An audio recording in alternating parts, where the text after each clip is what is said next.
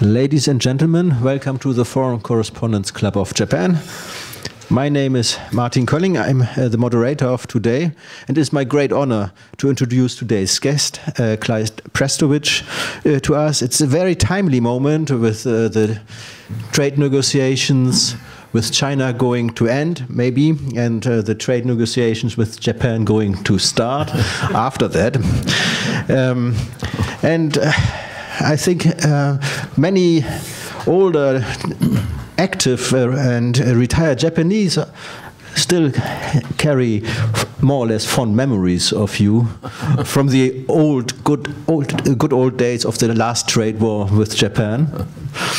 Uh, he was very, he was, you were involved in that uh, trade war, as I think, as. Uh, uh, under President uh, Ronald Reagan, you were uh, counselor of the Secretary, uh, Secretary of Commerce.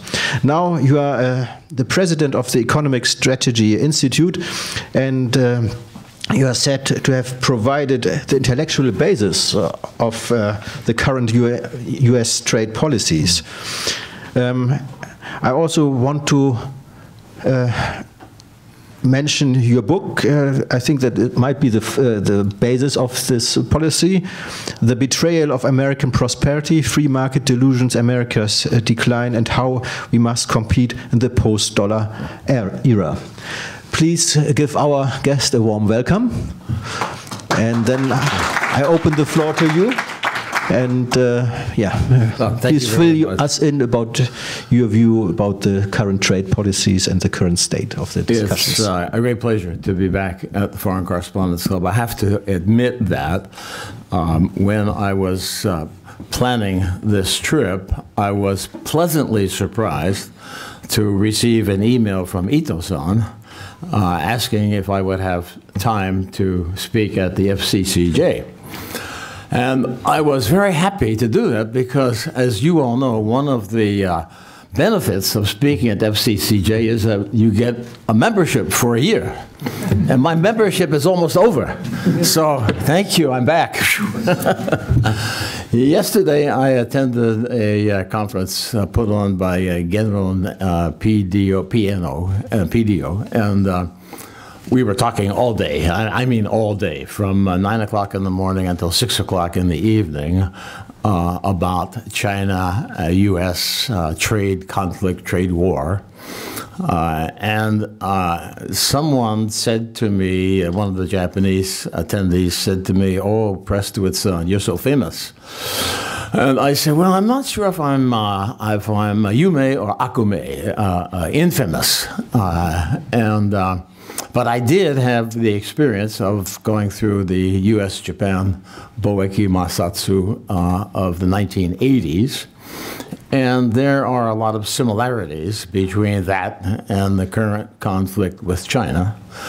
Uh, but there are also great differences. Um, so let me uh, talk about both of those aspects. Um, thinking about similarities, um, there I, I, got involved in 1981. I, am one of those people who went to Washington uh, for a year in 1981, and I have been there for 38 years.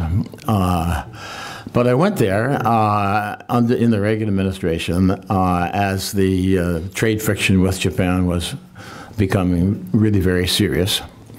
Uh, and um, and I noticed as we went through, uh, we, we, we had constant flow of complaints from American companies, and not just American companies, but European companies as well, that they were just having so much trouble in Japan. Uh, and they would come, there was a pattern. They, the companies would come into the Commerce Department and they would say, oh, these Japanese, they're, they're not playing fair and, and uh, they uh, put all kinds of obstacles uh, in our way, and uh, there are all kinds of unseen barriers. And so we, the negotiators, would come to Japan and we would say to our Japanese counterparts at, uh, at MITI, then it was MITI, Tsusansho, and uh, of course Okurasho, the Ministry of Finance, and of course uh, uh, Gaimusho. And um, we would say to the Japanese officials, listen, uh, you have to stop acting this way. It's not fair, and uh, you're a member of in those days, we didn't have the WTO. We had what we called the GATT, the General Agreement on Tariff and Trade. You're a member of the GATT. Um, you tell us that you are a democracy, that you are a free market capitalist economy, but it seems like um, you're throwing uh, barriers in the face of, uh, of uh, foreign commerce. And the Japanese officials would say to us, what are you talking about? Uh, the problem is not, our market is more open than yours. Our tariffs are lower than yours, and they were. Uh, and the problem is that your businessmen aren't trying hard enough. Their delivery is always late. Their quality is poor. For pity's sake, they put the steering wheel on the wrong side of the car. How do you expect to sell anything in Japan? And this occurred, it could be it could be walnuts, it could be rice, it could be telecommunications, semiconductors, machine tools, automobiles, time and time again. We went through the same pattern. And, and finally, I, I began to think uh, that maybe we were victims of false assumptions. And what I meant by that is that we, the assumption of our negotiation was essentially that we were playing the same game. Uh, let's say we assumed that we were all playing tennis. Uh, and, uh, and we assumed that because um, we had this um, view that the Japanese, Japan is a democracy just like the US. Uh, and it's a market economy like the US, like the EU. But then I began to think wait a minute, yes, Japan is a democracy, but up to that point, only one party had ever ruled Japan. Yes, Japan is a democracy, but the bureaucrats uh, in Japan are very powerful. In fact, in fact, Whereas in the United States, every mother wants her son to, uh, to go to Harvard Business School and, and become another Jeff Bezos or Bill Gates and, and make a fortune. In Japan, every mother wants her son to be to be a bureaucrat at Tsusansho or a Gaimusho uh, because it's a high status uh, uh, kind of thing. So the and and the bureaucrats have they, they have what they call gyosei shido, the administrative guidance. So that, uh, in fact, I remember even uh, Akio Morita, founder of uh, Sony, once said to me about a certain problem. He said, Tsusansho must give them strong guidance. And I thought, wow, that's interesting. The Secretary of Commerce in the United States cannot give strong guidance to an American company. He doesn't have the power. But in Japan, he had the power. Uh, so the relationship of government to industry in Japan was quite different from that in the U.S. Uh, and, uh, and then secondly, um, the um, the concept of, uh, of um, the way that Japan played, played uh, market economics. So, uh, yes, Japan was a market economy, but uh, there were they, uh, there was large keiretsu um, uh, with interlocking shareholding. So uh, about 75% of the shares listed on the Tokyo Stock Exchange never changed. They were cross-held.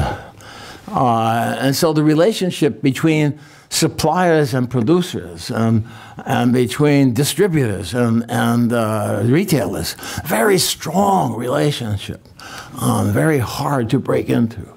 Uh, or think about automobiles. Uh, in the US, an in order to sell automobiles, uh, if you're an automobile producer, you have to have dealers. Dealer is the one who sells to the driver. Uh, and uh, And in the US, the dealer is by law uh, considered to be independent from the producer. So, um, in fact, I recently I, I own an Infiniti uh, QX50, and uh, I had to take it back to the dealer for some service recently. And so I went to the dealer, uh, Jim Coleman uh, Infiniti. But just across the street is Jim Coleman Cadillac. And uh, on the other street is Jim Coleman Mercedes. So Jim Coleman sells all of them. Uh, well, in Japan, Mercedes dealer sells Mercedes. He doesn't sell Cadillac. He doesn't sell Infiniti. Um, so if you're an auto producer and you want to get into the U.S. market, you already have a dealer network made for you. You just go to Jim Coleman and make him a good offer, and he'll sell your car. But in Japan, if you go to Jim Coleman Toyota, he won't sell your Infiniti, he won't sell your Mercedes, he won't, you, you have to have a separate dealer. And creating a new dealer, a network, is expensive, really expensive, particularly in a place like Japan with very high land costs. So, so actually, the ability to crack the market in the auto market is, is much easier in the US than it is in Japan. The same is true in Korea, the same is true in Germany. It's, it's not just a Japanese phenomenon, but, but anyhow, you, you can see the difference. So I said, you know what? We're not all playing tennis. We, the US, are playing tennis, but in Japan, they're playing American football. And uh, and they're playing, maybe they're playing the game fairly. Uh, they're not going offside. They're not roughing the passer. But foot, they have helmets and they have pads, uh, and football is a rougher game than tennis. Um, and so we began to negotiate with maybe a clearer understanding of the differences between the two sides. So anyhow, the main point is that we did reach agreements uh, we did resolve a lot of trade friction. Um, uh, U.S. and Japan, of course, were and are allies, uh, and did in those days and do today uh, support each other in a wide variety of international objectives. Um, at one point, um, the Japanese press uh, and many of the Japanese newspapers described me as uh, Nihon ni totte ichiban kikenna jinbutsu. and um, they don't do that anymore. Um, uh, I think my reputation has been a little bit improved uh, over the years. Um, but um, when I then turned to China, and I have been in over the last uh, four years, I have been uh, writing about and visiting, and uh, I, I, haven't been negotiating with China, but I, I have been very close to the U.S. negotiators. Bob Lighthizer, a longtime friend of mine. Uh, and as I've studied the Chinese uh, economy, I realize that there are many similarities. Uh, like Japan, China has a catch-up strategy.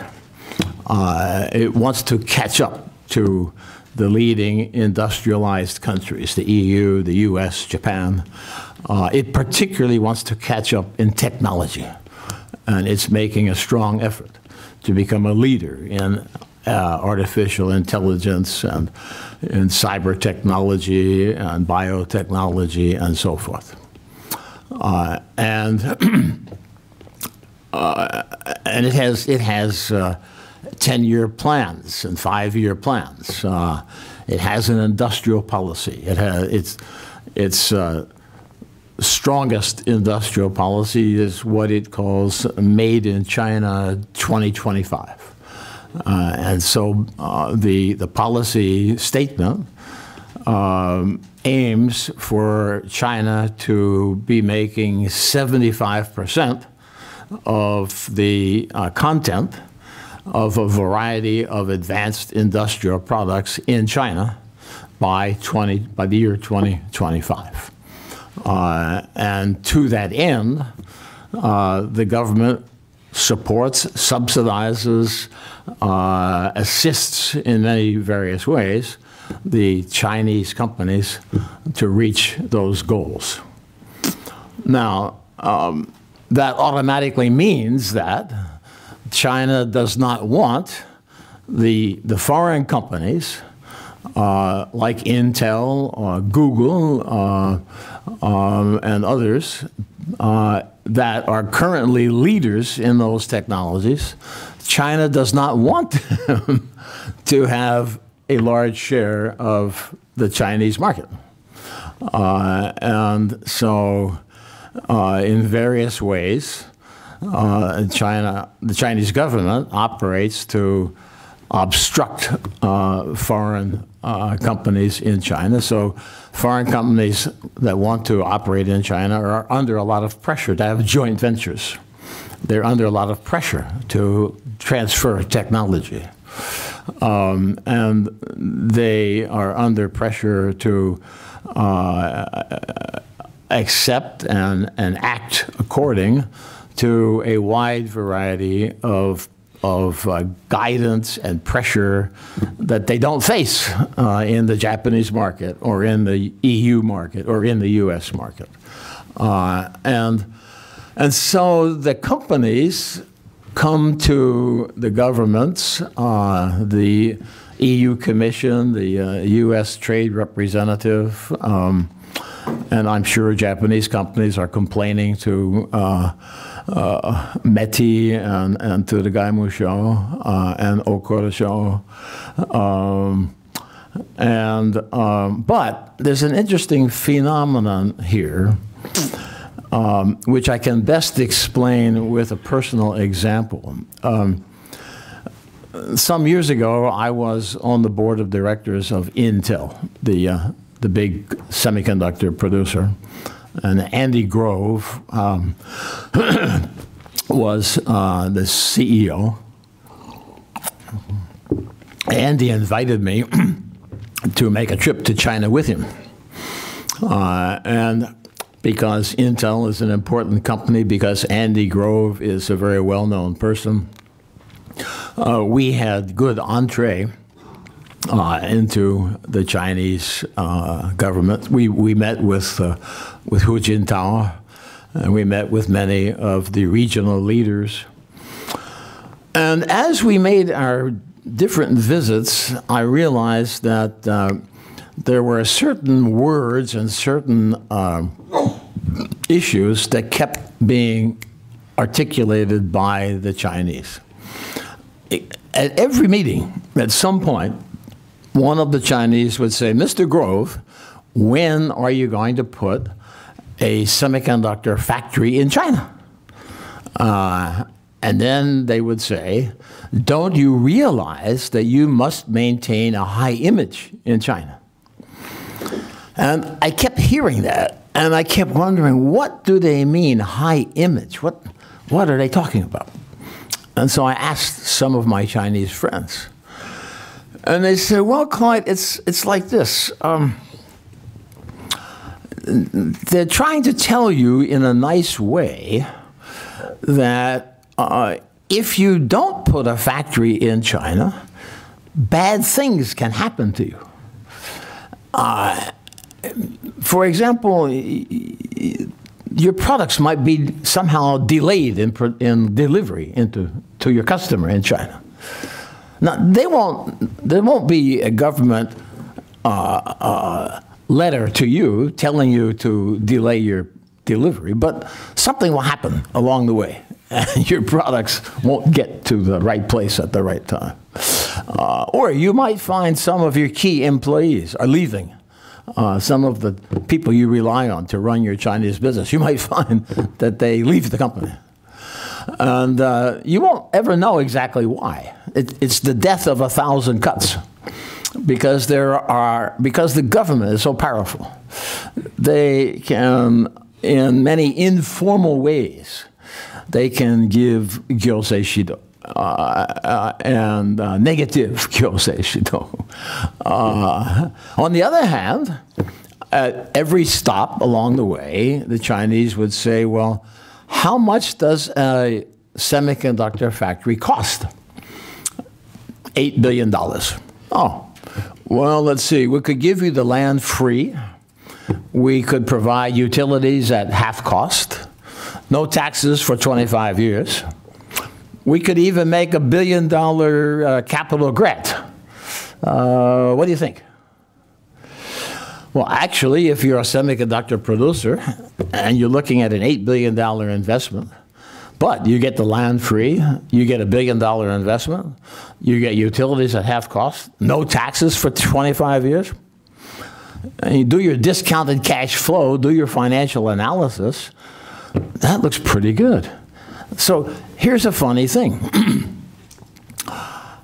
when we all studied economics uh, at university, we were all told that, uh, that trade, international trade, is win-win. And we were told that, uh, that uh, companies, countries would trade products in which they have a comparative advantage. Uh, and, um, and then they would buy products in which they did not have a comparative advantage. So if you look at the United States in, uh, let's say, uh, 2005, and you said, what products, in what products does the United States have a comparative advantage? Certainly semiconductors. Certainly semiconductors. U.S. had a large trade surplus in semiconductors. Intel was and is, remains, the low-cost producer of semiconductors. Uh, Semiconductors are not labor intensive. There's hardly any labor in a semiconductor. It's all capital and technology. China has no advantage, no, no natural advantage in making semiconductors. Uh, the advantage lies with Intel.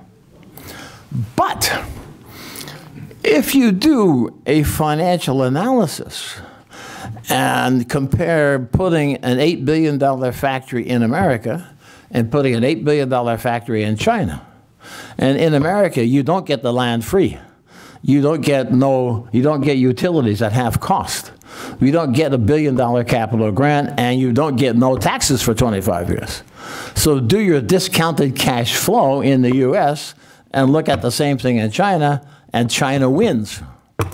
Uh, and so with that kind of industrial policy, China uh, is able and Intel did, in fact, put a factory in China. Uh, and so we see that same phenomenon taking place in aviation and medical equipment and all kinds of things across the board. And of course, that results in conflict, economic conflict, uh, and, and eventually in these trade discussions.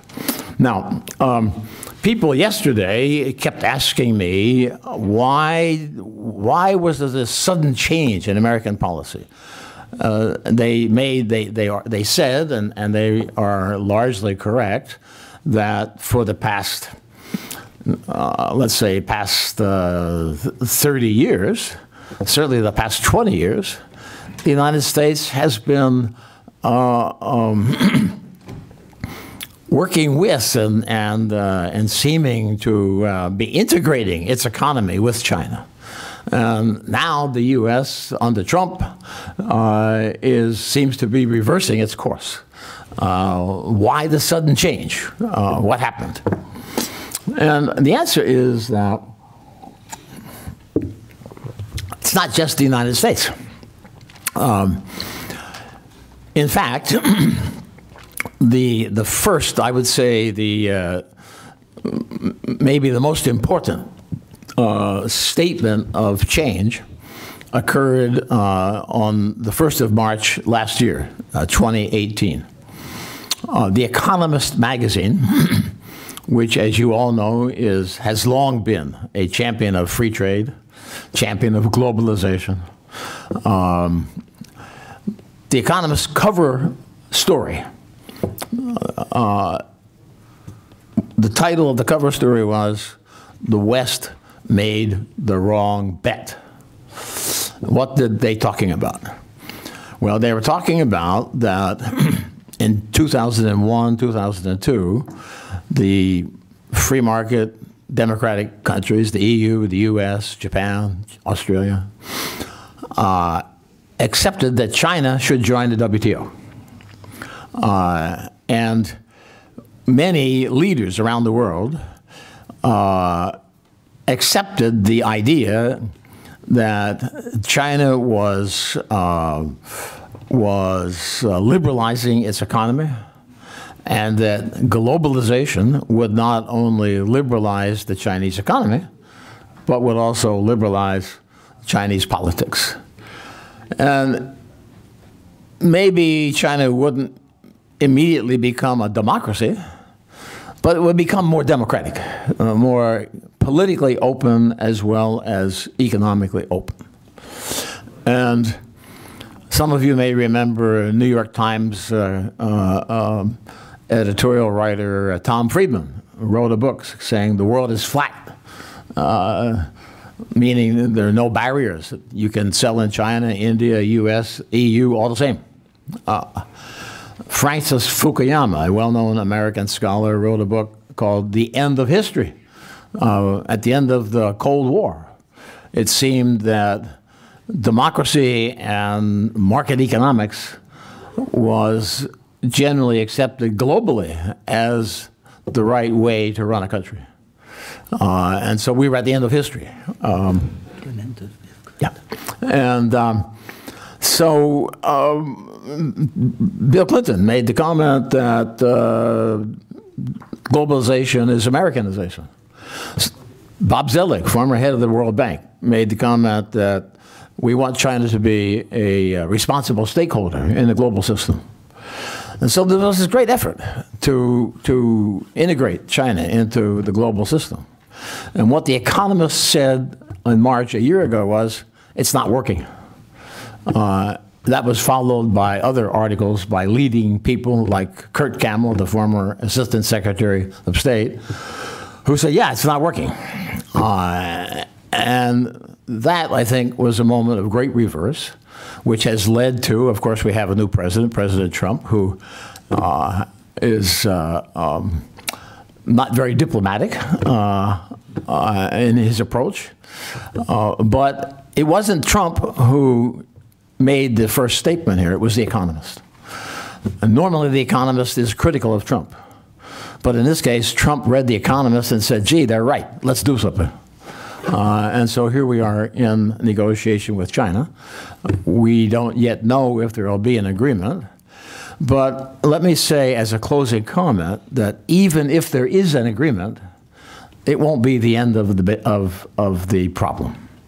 Uh, the problem, in my view, is a fundamental clash of systems and values, which will continue for quite some time. Thank you very much. Thank you very much. And uh, then I will open the floor to questions. Yes, please.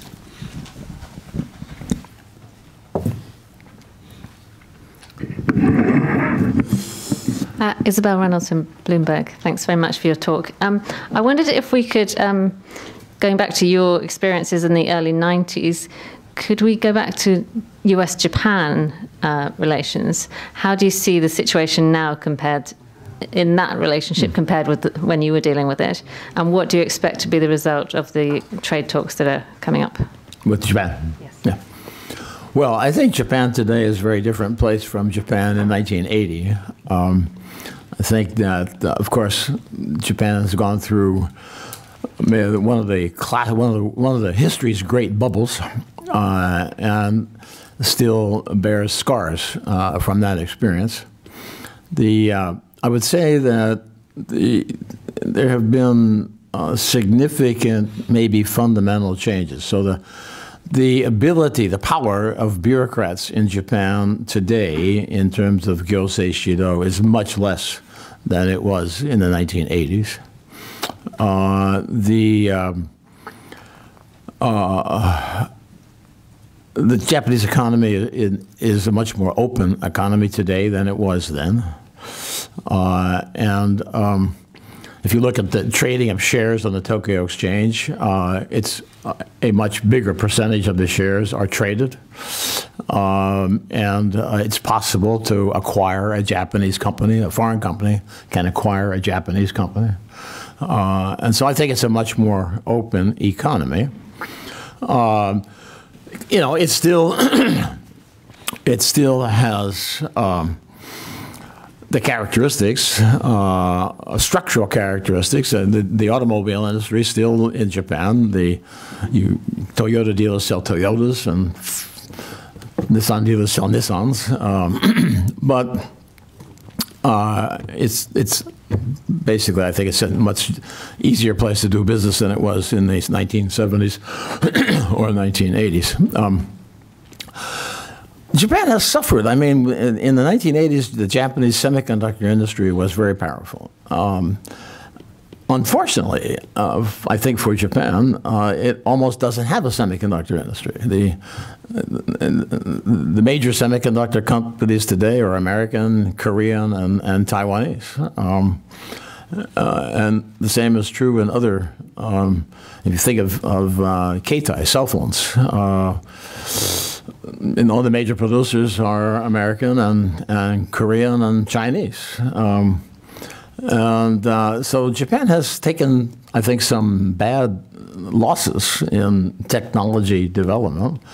Uh, and I think partly because Japan hasn't had the strong government support that it had in the 70s and 80s, and partly because uh, Japanese industry has, uh, for a variety of reasons, not been as aggressive uh, as the Chinese, as the Chinese and the Koreans. Uh, so I think that there's a lot of room for um, for rethinking of Japanese policy. Now, if I look at trade negotiations between the U.S. and, and Japan, let's say, coming up, um, I have to be honest and say I'm a bit I'm a bit concerned. Um, I think that we again we come back to uh, structural differences. Um, Japan continues, to, of course, to have a substantial uh, trade surplus with the U.S. and the Trump administration doesn't like uh, big trade surpluses or deficits, and so that will be a target. Uh, and um, and there will be uh, be because Japan has persevered with the TPP 11 uh, after the U.S. dropped out. Japan will be reluctant, I think, to make many concessions to the U.S. because it already has made deals in the TPP 11. And it made those deals when it thought the U.S. was going to be part of the TPP. And so I, I think it I understand why Japan might be reluctant to make further concessions to the U.S. and certainly cannot make concessions to the U.S. that it hasn't made to the TPP partners. Um, I think that uh, automobiles is likely to be an issue. Um, and um, in that regard, I'm, I'm not sure in my own mind um, you know, what a good solution could be. Um, one thing that, that puzzles me is that Japan is not any longer a low-cost location for auto production. Um, uh, labor is not cheap in Japan, uh, and, and capital is not less expensive in Japan than it is anywhere else. Japan has uh, um, uh, excess capacity. I mean, Japan has can, capacity for about 13 million vehicles, and it only sells in Japan about three and a half or four million. Uh, and even when you count exports, still has three or four million vehicles worth of excess capacity. Uh, and so um, I think it's a difficult, going to be a difficult negotiation. I wish I had a, a more uh, optimistic uh, outlook, but I just think it's going to be a difficult negotiation.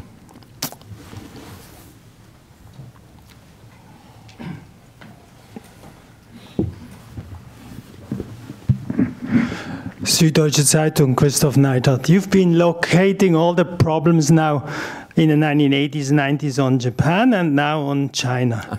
and uh, but the U.S. has become a, a, a exporter of soybeans and uh, and and beef, and the, the the quality of the United States in the industry has gone. I mean, no American wants to buy an American car anymore.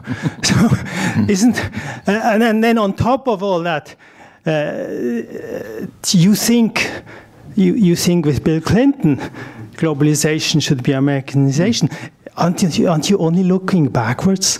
And uh, as and uh, one word to China. I mean, China is not a democracy, but it's pluralistic. Even under Xi Jinping, it's a pluralistic society. So it's not been comparable to what it was 20 or 30 years ago. Mm -hmm.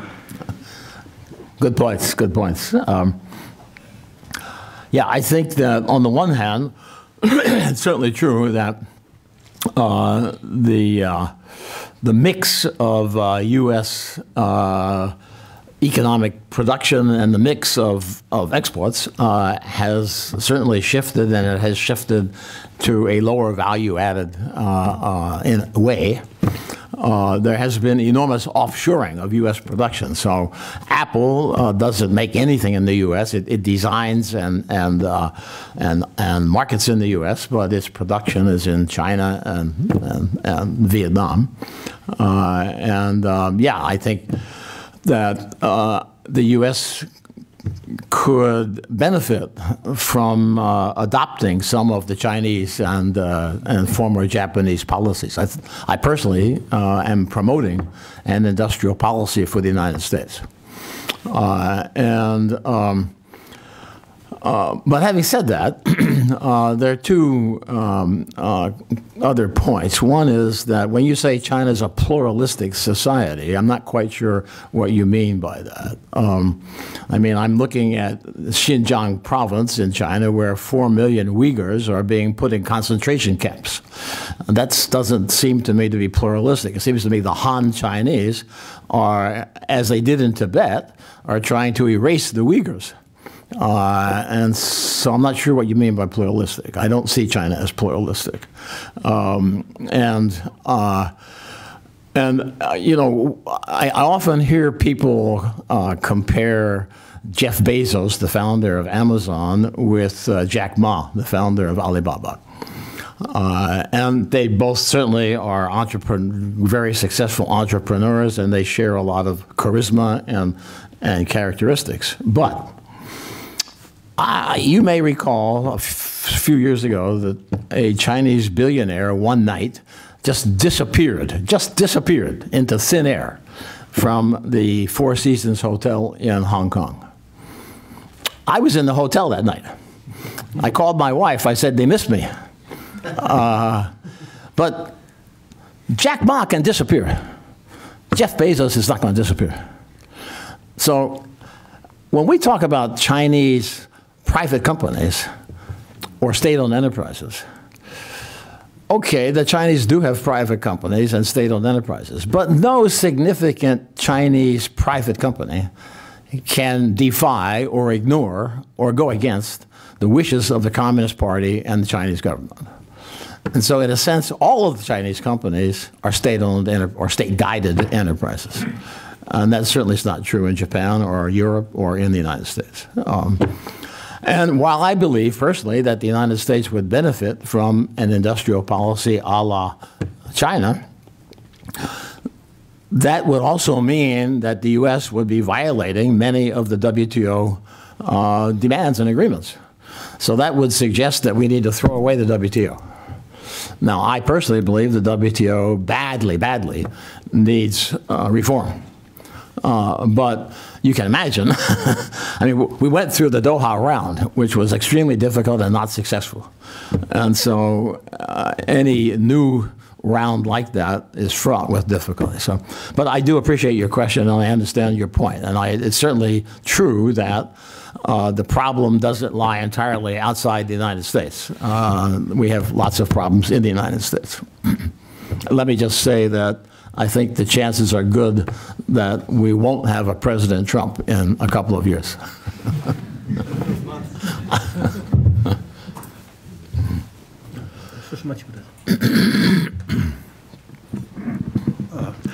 Tokumoto freelance for Japanese uh, weekly magazine. Uh, thank you for press conference today. Um, as you may know, Japanese Emperor Akihito will abdicate next month, yes. marking the end of imperial Heisei era yeah. of post-war Japan. Yeah. Um, um, my question is, uh, looking back your experience on trade talk with Japan mm. since 1980s, do you remember any example that the Japanese monarchy exercised any influence on the trade talk mm between Japan and the United States. Mm -hmm. I'm, I'm, asking this question because when I did an investigation into the uh, memoir and declassified Japanese document, right. I could confirm Japanese uh -huh. Emperor Hirohito, yeah. he was very much interested in mm. international affairs, right. including trade issues. Yeah. And he was trying to get his message across yes. outside the government channel. Yeah. Interesting question. Um, so um, it so happened that in the university, um, I made a friend, a Japanese friend, who eventually became, uh, he, he, worked first in the Gaimusho, but eventually became Chamberlain for the emperor. And I do remember at one point we were having great, we were at the peak of the Masatsu, the great friction. I do remember uh, having dinner with my friend one night uh, and uh, just explaining to him the, the U.S. Uh, point of view. Uh, and, and, I did that because I thought that he still had influence at the Gaimusho. But it's very possible that he also had influence with the emperor. I don't really know. Uh, it's a good question. Interesting question. yes, please. Uh, my name is Mayumi Watanabe. Uh, I'm from Platts, uh, focused on um, resources. Uh, when you say the crash of the two systems, China and U.S., uh, and and the talks are going on, what would be the um, well worst case scenario, best case scenario? Uh, would the China tariff on U.S. products rise to you know 50%, 75%. Do you see that happening? Okay. Let me say, I don't see this as a clash just between the US and China. Uh, I see that the EU and Japan and all of the free market democratic countries uh, are facing the same issue with Japan. The uh, the uh, Federation of German Industry has just issued maybe the strongest paper I've seen uh, with regard to the problem of dealing with China.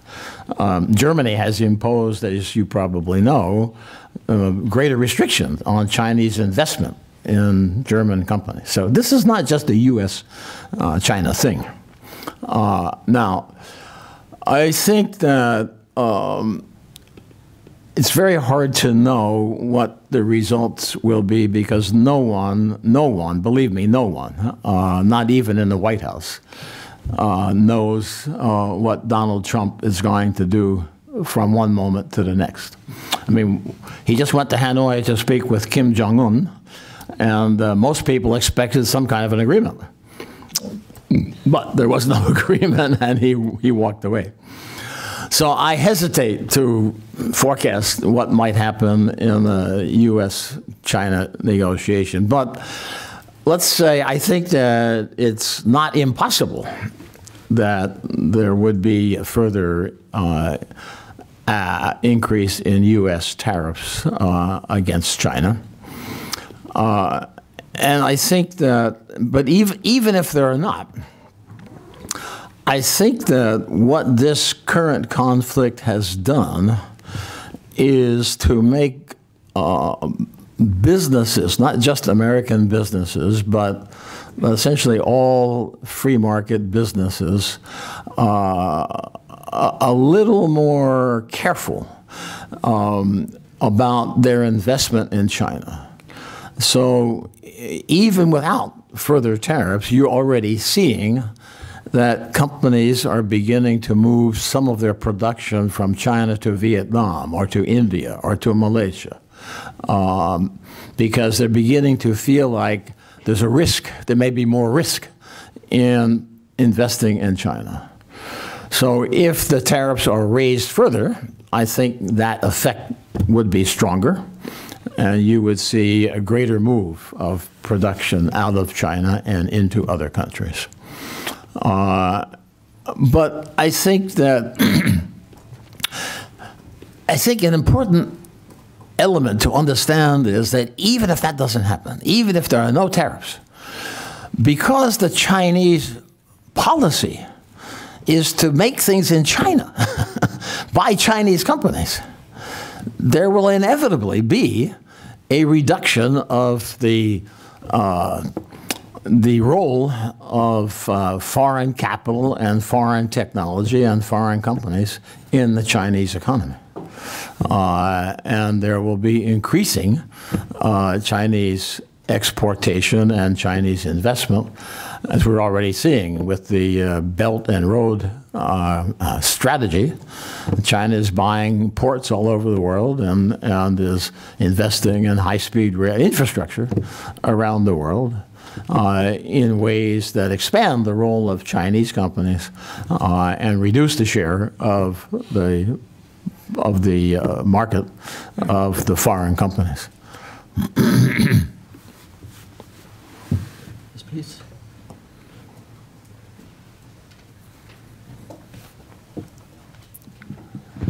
Hi, thank you very much. Uh, I'm Kenji Kawase from Nikkei. I have two questions. I want to follow up on the, the China thing.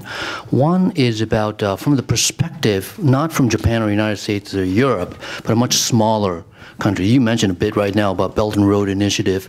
The, the destinations are Southeast Asia or Central Asia, much weaker states uh, as an individual. And they are facing China day by day.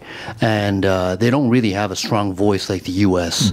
Or how would they, for instance, Southeast Asia, closer here to ASEAN, like Vietnam, Cambodia, Laos, Myanmar, those kind of Thailand. How do, what do you think they, how they should deal with, with China? They're coming in in, many different forms, right. um, including uh, a lot of uh, tourists or people right. at the same time. That's my first question. I have a second one, sorry. But you talked about Jack Ma in comparison with Jeff Bezos. When Jack Ma decided to step down as chairman, all of a sudden last year, uh, from your perspective, why did he do that? Um, could you tell me your take of why Jack Ma, mm. being so young as, uh, mm. as an entrepreneur, he's stepping out? Mm. Why is that? Thank you very much. Okay. Oh, good questions. Let me take the last one first. I don't really know why Jack Ma stepped down. Um, I think he explained that he had family reasons. He wanted to spend more time with his family, uh, something like that. Uh, so I don't really know, but uh, I, I, I was told by a, a, Chinese friend that Jack Ma was getting too much publicity, uh, and and that uh, there was concern that he was getting too, you know, he was getting too much of becoming too much of a of a hero uh, in China, uh, and that um, he needed needed to lower his profile. Uh, I don't know if that's true or not. I just was told that. um, but with regard to Southeast Asia, um, I think that they are these countries are in Depend, it depends. I mean, you can look at it from one point of view. You can say, well, they're very lucky. Um, uh, I mean, I was in Singapore. I'm going to go to Singapore tonight. I was, was in Singapore last month. Uh, and um, Singapore economy is booming. Uh, a, a, big reason for that is they're getting a lot of Chinese tourists and they're getting a lot of Chinese students. So one official in Singapore told me that China's biggest export is tourism, uh, or that Singapore's biggest export is tourism. And the second biggest export is education. And that's all due to China. So Singapore is making money. It's a rich country. GDP, uh, GDP per capita is much higher than in the US. Um, and so you can say they're very lucky. But uh, at the same time, um, one of the Singapore officials said to me that they also are nervous uh, because they realize that they, they've already seen the example uh, with regard to Korea that when China gets upset with a country, suddenly the, the sales of that country drop. Uh, the, the land on which the U.S. anti-missile installation is located is land owned by Lotte. And suddenly Lotte was selling nothing in China. um, so they said to me, you know, we understand that if China wanted to stop the tourists from coming, it could. Uh, and, and so they're nervous about that kind of thing. And I think that's true uh, throughout uh, Southeast Asia um, and even into uh, other countries in the region. Uh, and I think that um, I think what's beginning to occur, again, triggered by the Economist article last year, is a bit of rethinking. Many countries are rethinking about the, let's say, the risk reward uh, formula in dealing with China. Uh, and each country will have its own uh, solution to that equation, uh, but it's, it's, it's an equation that many countries are thinking about. I mean, just in this conference I was, I was at yesterday, uh, many people were saying that you know they don't want to have to.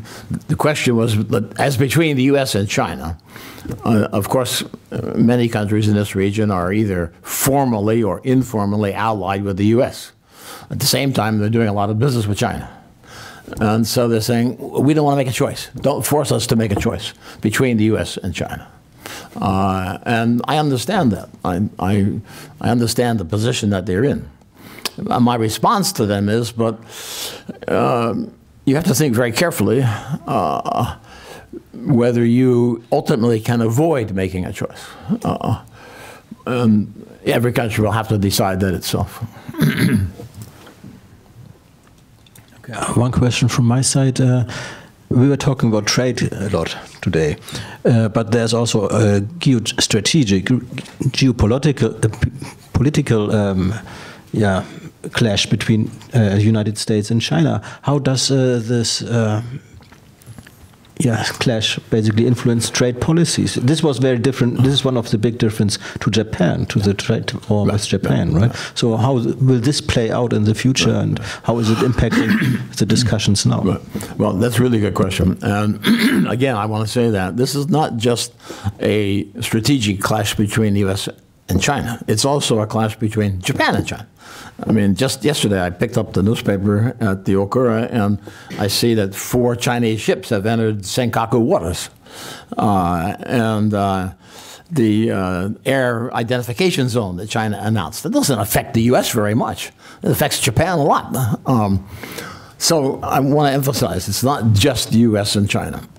um, but you're quite right. In the U.S. Japan negotiation, we were strategic partners. At the end of the day, uh, we more or less had to come to a mutual agreement, whereas in the case of China, it's much different. Um, and therefore, I think that the trade negotiation with China uh, between the U.S., but not just the U.S., between the, the democratic countries, the free market countries, and China, inevitably has strategic elements. Uh, when you have that, when you have a trade negotiation in that context, it is also a strategic negotiation. You you can't separate the two, uh, and. Um, and so when you make your economic choices, that has to be conditioned also by your strategic choices. And whereas if you didn't have a strategic consideration, you might make one kind of economic choice. When you do have strategic considerations, you might change the economic choice that you make. And I think that's a very important aspect of the discussion. Uh, I mean, I think this whole the debate about Huawei and 5G, you know, that clearly is not just a trade or economic debate. That clearly is a strategic debate as well as a trade and economic debate.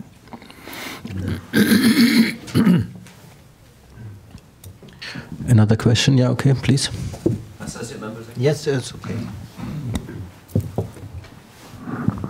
Thank you very much indeed. Um, Associate Member Mike, Michael Brook, um, you referenced uh, a fundamental clash of systems and values vis a vis China and primarily, I think, the US, but as you suggest, it's not a, a purely bilateral issue, um, as I understand it. Um, if you were to um, list in order of seriousness the three fundamental systems and values of China that are for want of a better word, dangerous for the future. Mm. What would they be, and, and why would you select those three? Okay. Thank you. So, you know, I, I don't want to uh, I don't want to sound like a broken record, but I don't think that the values of the United States are unique. I think the United States shares the same values as as Europe and as Japan. So I don't see it as a clash between U.S. and Chinese values. It's a clash between democratic free market values and and uh, what does Chinese say? They are uh, socialism with uh, Chinese characteristics. so what are the what are the clashes? Um, well. we know that Google, you go to China, you go to China, you know you can't get Google uh, if you if you go on your computer. Why not? Well, because there's control of information in China. You can get Google here in Tokyo. You can get Google in uh, in Brussels or Berlin. Uh, so I think that's a fundamental uh, element. Uh, I think that um, the uh, let's take the Dalai Lama. He often, uh, in the past, he was often invited to speak at universities in the United States, in Europe. I don't know if he spoke. I'm sure. I'm sure he's spoken here in Japan. Um, if you just become conscious and look look in the newspaper for invitations to the Dalai Lama, he doesn't get them much anymore. Uh, and um, uh, and the reason, one reason is because Uh, at least this is true in the United States. I think it's true elsewhere as well. Um, these universities have a lot of Chinese students, and the Chinese students are paying full full tuition. Uh, the universities want the Chinese students. Um, if they have the Dalai Lama coming to campus, there's a reaction. Uh, they risk a reaction from China. Uh, and so there's, there's a linkage. In dealing with China, there's a linkage that doesn't exist. That, you know, when we were having a trade friction with Japan, there was never any spillover that uh, U.S. Uh, universities would avoid uh, inviting Japanese speakers or vice versa. Uh, the, the trade friction was significant, but it wasn't in the context of changing of values. And you know, and then you ask for three things. So I think a third thing is that um, uh, when you are dealing with a um, excuse me with a Chinese company, uh, and uh, you're you know negotiating um, some kind of an agreement mean, clearly, state-owned companies uh, are very significant in China, and actually have been growing in importance uh, under Xi Jinping. Uh, but as I said earlier, even non-state-owned companies, uh, the Communist Party cells are in the companies. They have Communist Party members on their boards, um, and so they're not completely independent. Uh, and and, and um, they they receive guidance, uh, and and uh, you know, Western European, U.S., even Japanese companies they don't get guidance anymore. Um, so it's a very, in my view, just a very different uh, approach. It, it's socialism with Chinese characteristics, and that is quite different from uh, capitalism and democracy uh, with liberal characteristics. Thank you very much. I'm afraid we have to come to a close today because we have uh, another press conference at one o'clock uh, and we have to refurbish the room a little bit. But thank you very much for your you. presentation. And as it is custom in our club, as you know, you're here to collect your one year honorary membership. I just got it delivered. Thank you very much.